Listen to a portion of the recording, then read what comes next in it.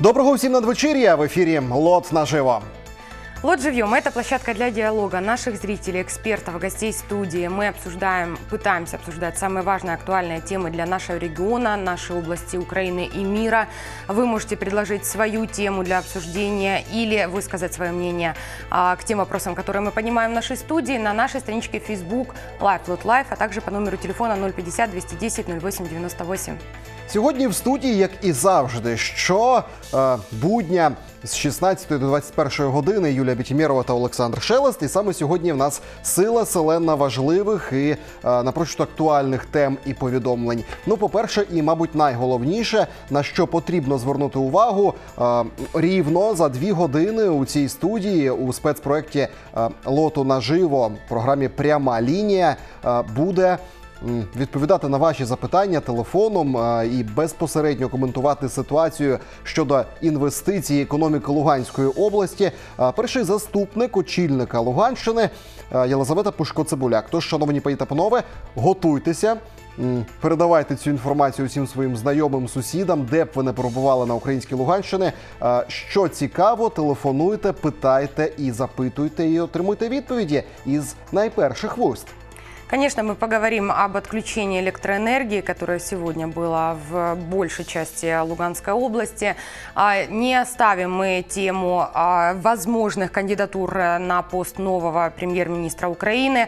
И, конечно, поговорим а, в очередной раз и будем собирать в дальнейшем мнение а, по приговору с Надежды Савченко, украинской летчицы, которые засудили а, в Российской Федерации, присудили 22 года тюрьмы и денежный штраф. Так, шановні пані та панове, ну і відповідним чином ми раз по раз говоримо про райони і маємо на меті почути голоси районів. Говоримо безпосередньо з очільниками е, тих чи інших районів і територій Луганщини.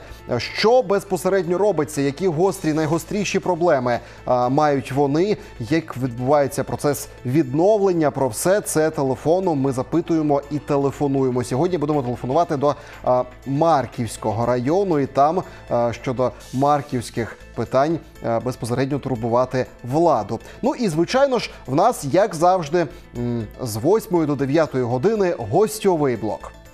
Конечно, мы поговорим о ситуации на линии разграничения в зоне проведения антитеррористической операции. А, Наши журналисты, наши редактора собирают информацию по крупицам в сети интернет, а, узнают, э, что происходит э, там в течение дня. А, И, конечно, у нас будет прямое телефонное включение со спикером АТО. От него мы узнаем уже вечером итог сегодняшнего дня, что же происходило на линии разграничения. Ну і звісно, річ про гостей. Гості в нас сьогодні пов'язані із е, зовнішнім незалежним оцінюванням. Яке воно буде е, для дітей, котрі е, прагнуть вчитися в Україні, чи то проживають, чи то на лінії розмежування на прифронтових територіях, прифронтових селах, містах, е, чи то перебувають зараз по той бік лінії розмежування. Вони хочуть гідну освіту і більш-менш е, релевантний диплом. Саме тому їдуть до України. І як все ж таки на території України своїх громадян, маленьких, юних абітурієнтів зустрічає е, наша система машини освіти, і відповідним чином як готуватися, як склати ЗНО. І цим дітям ми будемо говорити із нашим гостем у студії. Также мы обсудим а, выставку, которая стартовала в Северодонецке. А, каждый имеет право знать свои права, где школьникам рассказали о правах человека. И такие же школьники будут объяснять э, права человека своим сверстникам. Э, и перейдем к информационному блоку. Так, шановні питови, це все на вас чекає буквально протягом усіх наших годин живого ефіру. Ми розпочинаємо.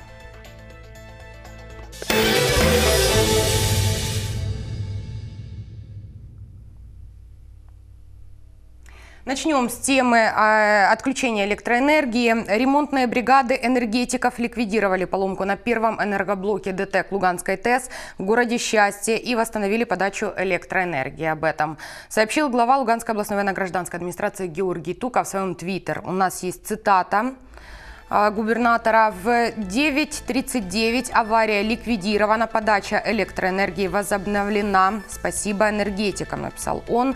А, Напомним, сегодня около 8.30 утра а, в результате технологической аварии на теплоэлектростанции в Счастье треть Луганской области была обесточена.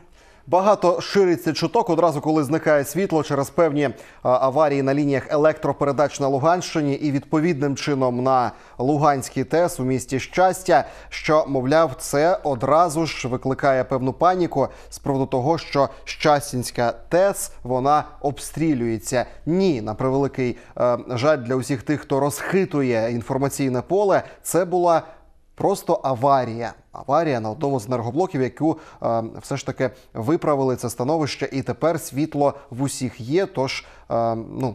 Давайте не панікувати разом. Так само е, панікерів е, вистачає і у Києві щодо майбутніх різноманітних перестановок у уряді і е, у коаліції як такій. Начебто все притихло зараз, і зараз, от тільки зараз розпочинаються найрізноманітніші варіанти, варіанти подальших е, варіантів розвитків подій. Так от.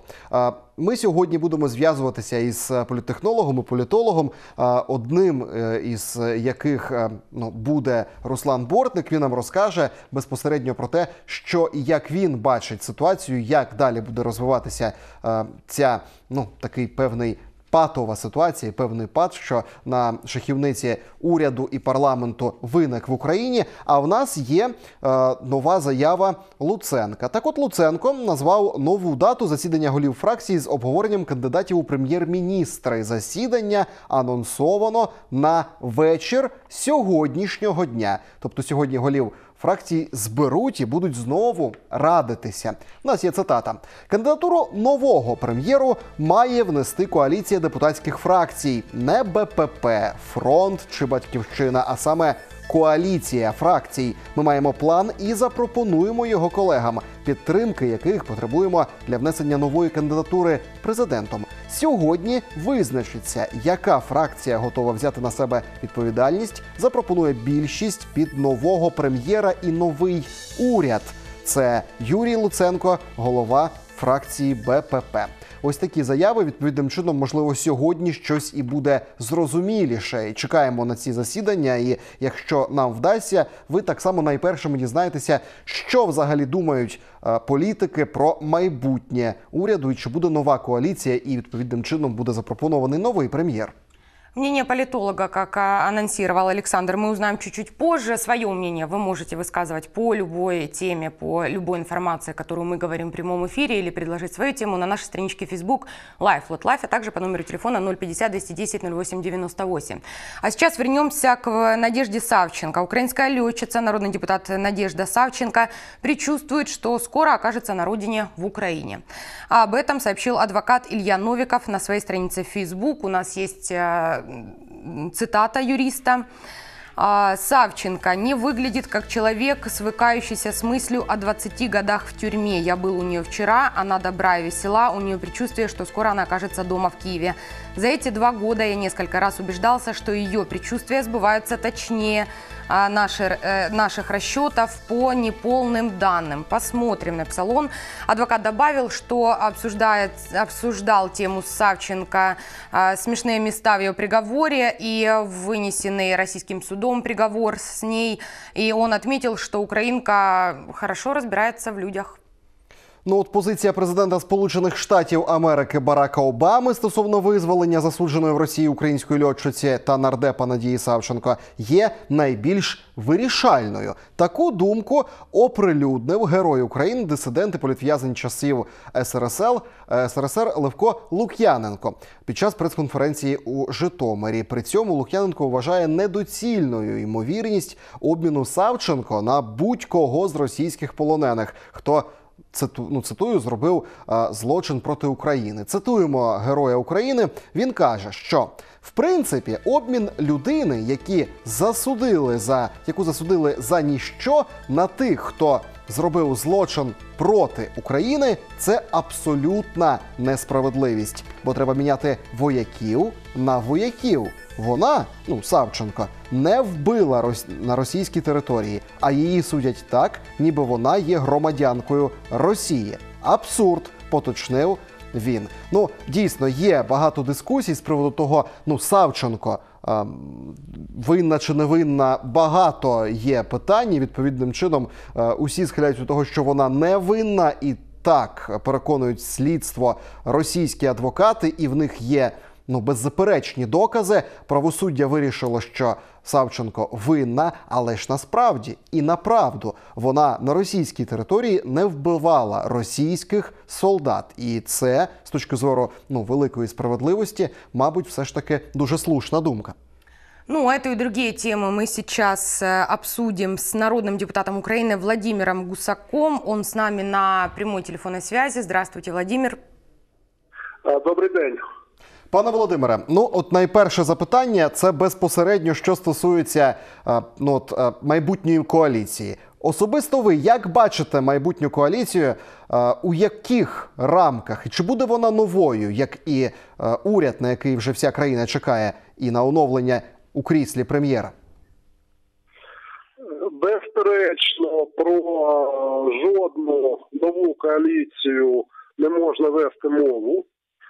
Е, Проблема в тому, що в нас е, парламент е, не змінився, і цей парламент, і попередня чи нинішня коаліція в цьому парламенті дуже мало працювала для людей. А натомість вона весь час боролася за посади та доступ до корупційних потоків.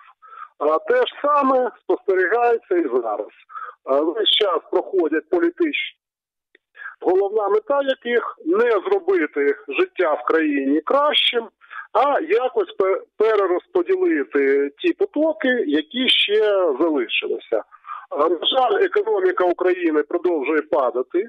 Відверто кажучи, ми сподівалися, що в 2015 році економіка України вже досягла дна, і цього року почнеться хоча б повільне зростання, але ні. Нещодавно надійшла економічна статистика за січень, яка показує, що, приміром, експорт з України обвалився майже на більше ніж на 30%. Або Україна втратила мільярд е, доларів експорту. Тобто економічна ситуація залишається дуже важкою і продовжує погіршуватись. А повертаючись до питань коаліції, ми вважаємо, що в нинішньому складі парламента жодна конфігурація з тих партій, які зараз складають основу нинішньої коаліції, мабуть, будуть намагатися сформувати наступну коаліцію, тобто жодна комбінація з них нічого не змінить. І так само ми вважаємо, що прізвище нового старого або нового нового прем'єр-міністра також не має значення. Це не призведе до зміни ситуації в країні. І я хотів би наголосити, що за даними останніх соціологічних опитань, в Україні рівень довіри до уряду та парламенту не перевищує е, 10%, тоді як 85-90% українських громадян не задоволені діяльністю що уряду та парламенту, і майже 75-80% не задоволені діяльністю президента України. Пане У такій Володимире. ситуації ми вважаємо, що єдиним виходом ситуації є перезавантаження влади через е, дострокові вибори усіх гілок влади. Пане Володимире, ну безпосередньо ви особисто, ну відповідним чином, ваша політсила до тих виборів готова чи ні? Адже бо будь-які вибори і будь-які стреси на політичному олімпі вони позначаються гостро позначаються на лінії розмежування, на лінії фронту. Ну бачимо мінські перемовини і поновилася бойова активність. Якщо оголосять вибори, це не загрожує національній безпеці е, України. Як ви гадаєте? Е, Безперечно, ні, і е, можливо, що українській національній безпеці більше загрожує нинішня ситуація, коли знов таки е, владою незадоволені 90% е, населення України. 75% е, українців вважають, що справи в Україні розвиваються в неправильному напрямку. Тобто можна сказати, що уся нинішня влада, причому це і президент, і уряд, і парламент, вони майже повністю втратили довіру суспільства.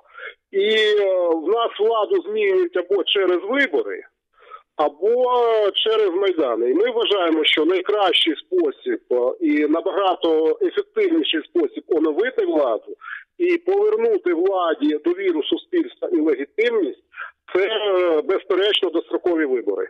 Зрозуміло. Владимир, скажите, а вы говорите, что изменить что-то в стране могут только перевыборы.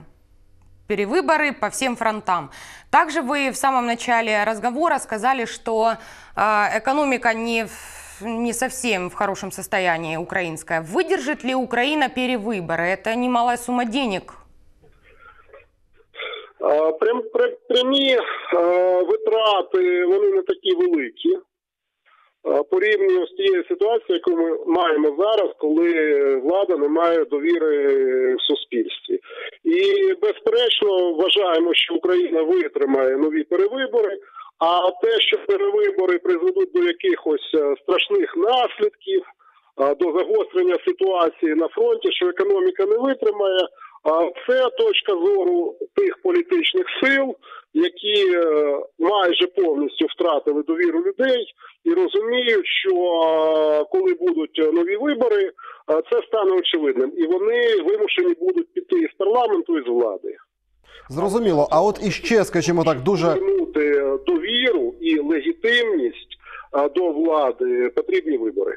Як ставитеся ви особисто до е, мінського процесу, який триває тривав учора, і в принципі триває постійно повсякчас? От у квітні е, будемо мати нову серію. Відповідним чином е, на лінії розмежування чекаємо на нові загострення. Як ви вбачаєте, яким має бути ось це примирення, і як повністю зупинити війну?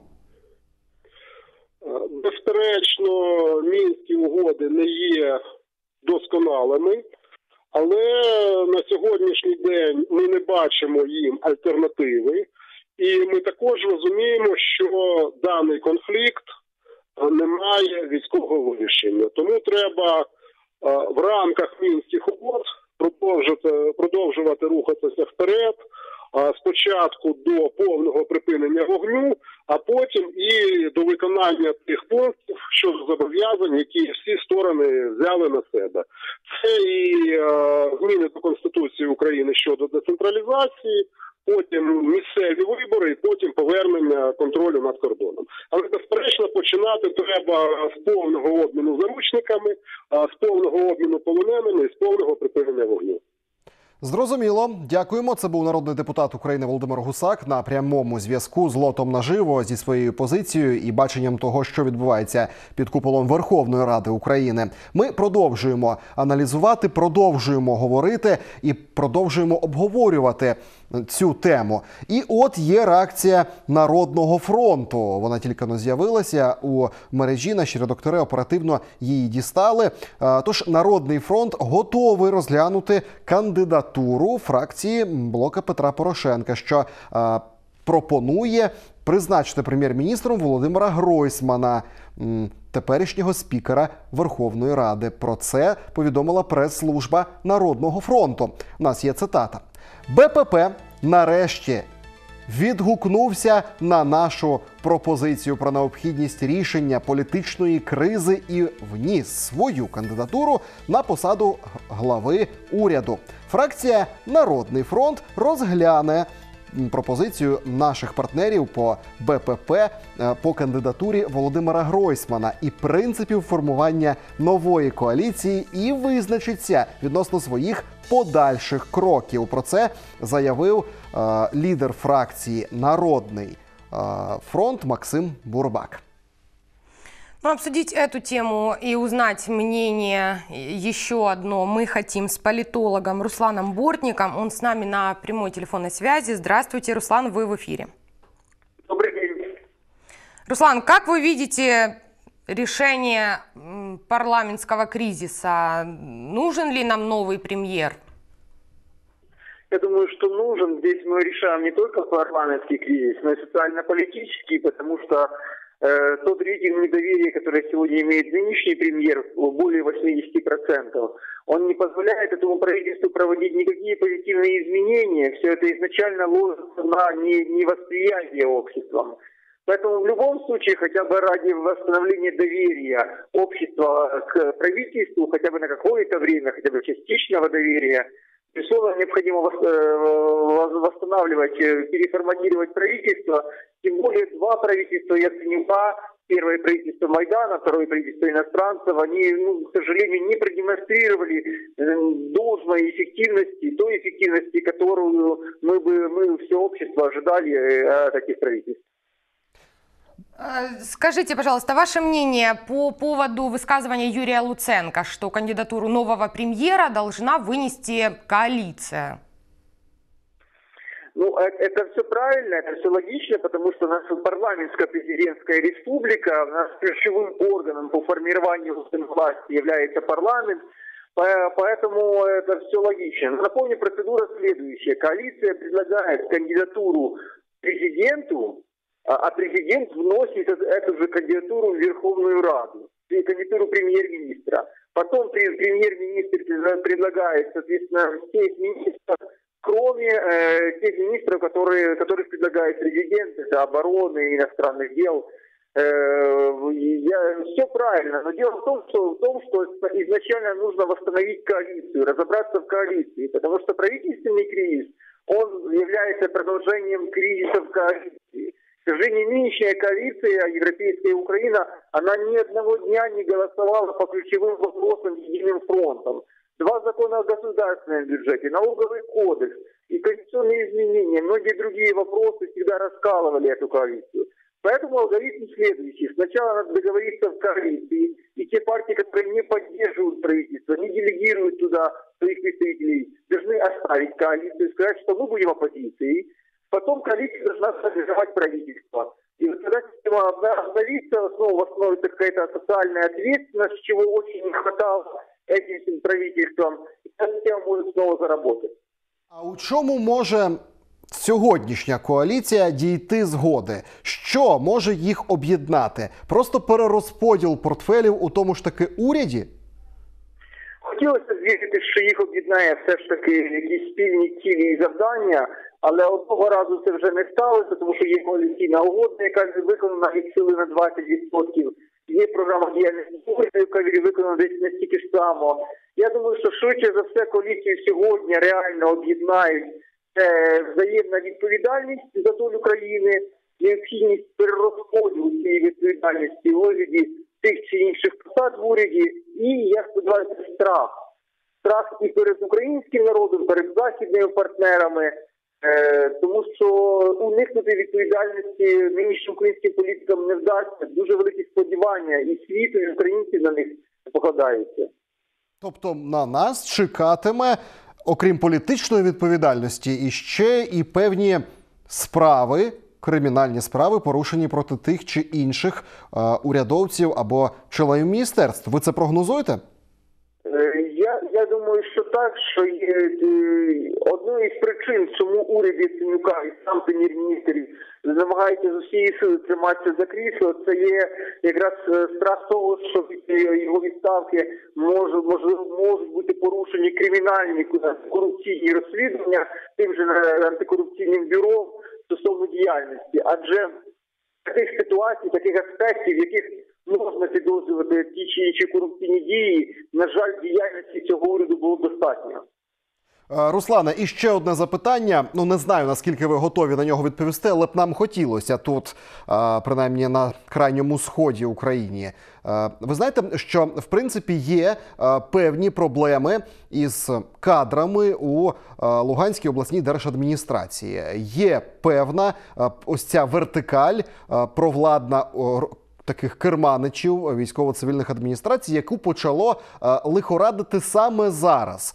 Саме зараз одні з департаментів усі разом пишуть заяви про е, складання повноважень, про звільнення. Е, з'являються нові. е, кадри, кадри з Запорізької області, з Харківщини.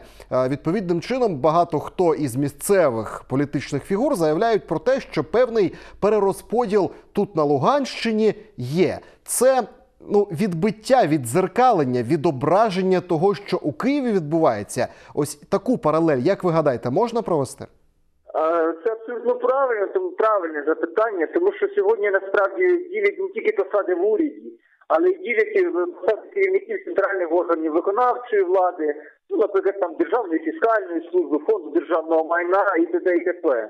Ділять посади губернаторів, члени коаліції, і тому не можна, можна не, не можна виключити, що наприклад, губернатори в багатьох регіонах зміняться, в тому числі і на Луганщині. Е, В цьому процесі активну участь беруть, е, якби скажімо такі керівники фінансових груп українських. Ми бачимо відвідини і уряду, і адміністрації президента, які відбулися, які здійснив і Коломойський, і Ахметов. І тому цей процес, який у вас зараз відбувається на місцях, він може бути якраз наслідком цих відвідин. Е, Я не хочу далі щось припускати, але очевидно, що процеси нового формування нового балансу і формування тих чи інших інтересів, відновлення, тих чи інших інтересів, вони очевидно відбуваються. Тим паче, ті люди, дві, дві людини, про які згадав, вони мають дуже серйозний вплив на Арсенія Яценюка, і вони в також визначають його долю. Ну і ще одне запитання, воно дуже коротке. Ну, хоча, в принципі, ви можете на нього відповісти достатньо широко за вашим фахом і вашим спрямуванням. Були закиди і тривають закиди щодо очільника Луганщини Георгія Туки про монополізацію взагалі керівництва, і він особисто висловлювався, що а, нащо оті всі ради, нащо а, оті та вся демократія, краще військово-цивільна адміністрація, як така, і, і все. І тут на Луганщині, на Донеччині не потрібно обирати анікого. Ну це було достатньо давно, місяць тому. А зараз а, його ж такі дії здіймають ну і ще раз повторення, такий камбек до цієї хвилі. Ви вважаєте, що і як має відбутися, щоб у прифронтових областях не було взагалі е, виборного е, самоврядування? Це можливо? Я думаю, що все ж таки в умовах нинішньої української конституції демократичного характеру, закріпленого в цій конституції української держави, неможливо і протизаконно. Хоча я розумію мотивацію Туки, я розумію, що дуже складно зараз керувати цим конгломератом інтересів, які знаходяться під його управлінням. Але е, одно- одноособове правління, там монархічне правління перед територіями, це не вихід, адже ви адже воно призводить до іншої проблеми. Воно призводить до глибоченної глибоченної кризи довіри населення цих територій до влади, низької легітимності влади.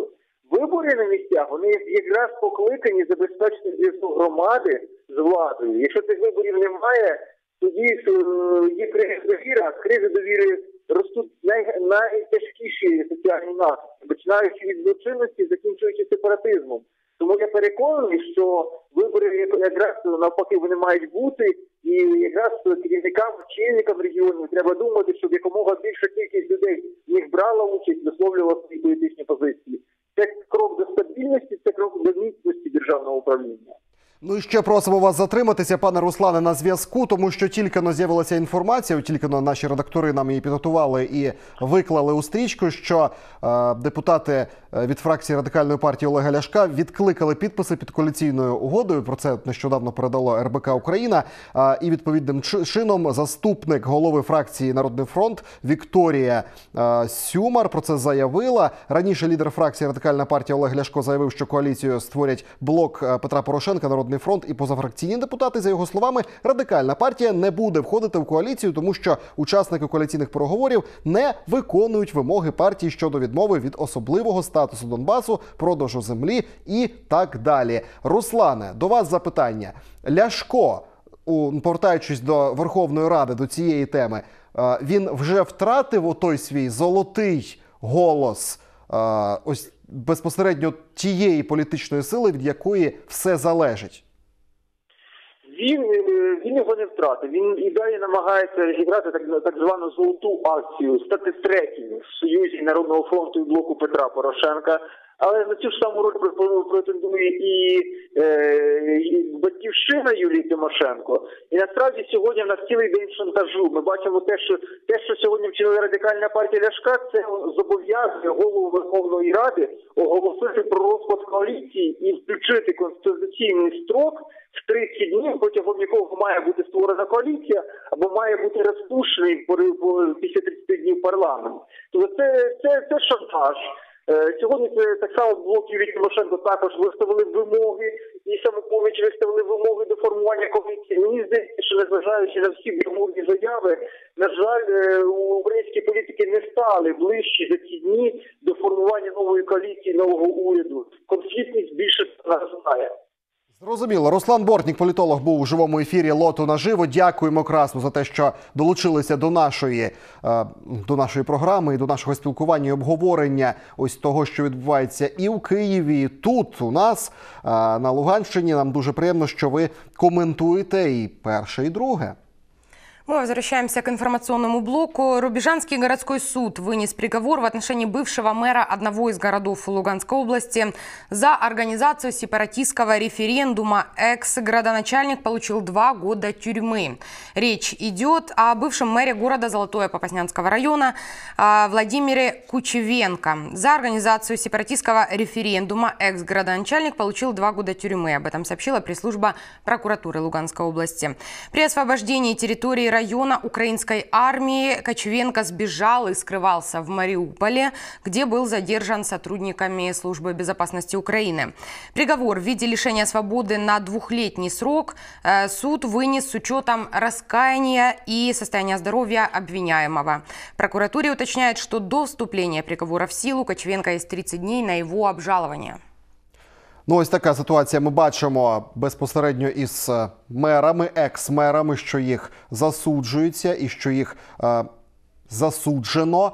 Е, До речі, шановні пані та панове, ну хочемо, щоб ви знали з цього нашого відкритого майданчика е, програми Лоту наживо, що іще один засуджений мер це пан Шилін з Лисичанська був запрошений сьогодні і минулими нашими ефірними днями до студії, але він відмовився нам ані коментувати по телефону своє судове рішення щодо визнання корупції і штрафу на 3400 е, гривень, ані приходити у студію, назвавши цей майданчик. Ну, скажімо так, заангажованим, назвавши е, ну не просто не бажаючи е, говорити, не бажаючи говорити не те, щоб з нами, а з вами не бажаючи говорити. Тому е, усі ці події ми закликаємо до активного обговорення. Тож пишіть, що ви конкретно думаєте з приводу наших підсудних мерів, з приводу того, що відбувається у обласній державній адміністрації, з приводу того, що відбувається у вас під під'їздом та у вас вдома,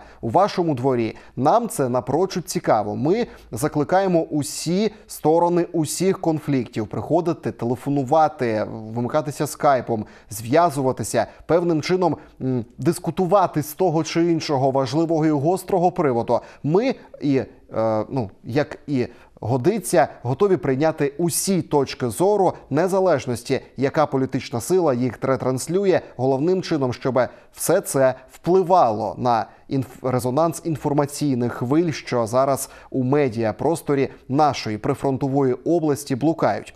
А, свої дописи і звертатися до нас можна під час живого ефіру, просто зателефонувавши на наш мобільний 050 210 08 98. Ми раді прийняти ваші телефонні дзвінки щодня і що інформаційного блоку. Тільки як бачите, лот наживо на своїх екранах, можете вже телефонувати. Нам дуже це приємно. Ну і дописувати можна на Live Lot Live. Так простіше знайти нашу сторіночку у Фейсбуку. Так вона там називається. Ну и о наболевшем для украинцев. Повышение нормы потребления газа для семей, не имеющих счетчиков, является следствием заговора правительства и олигархов для получения дополнительных денег от людей. А об этом сегодня заявил сопредседатель партии «Наш край» Александр Мазурчак, комментируя заявление премьера о повышении нормы потребления газа. Кабмин надо отправить не в отставку, а к следователям давать показания. Такое мнение у Александра Мазурчака. По его убеждению, правительство с самого начала а, принимало решения по заниженным показателям э, потребления газа, играя таким образом в поддавки с олигархическими структурами, захватив рынок поставки газа населению Украине. Що, шановні підтоптови, на цьому ми поки що зробимо паузу. Паузу тривалістю хвилин 10. Потім ми знову повернемося зі свіжою інформацією, зі свіжими експрес-коментарями телефоном. Також у студію чекаємо на гостей і вас чекаємо на наші живі лінії спілкування, чи то в інтернеті, чи то телефоном. Ми продовжуємо тримати руку на пульсі інформаційному і готові вам якнайоперативніше повідомити про те, що для нас найголовніше. Thank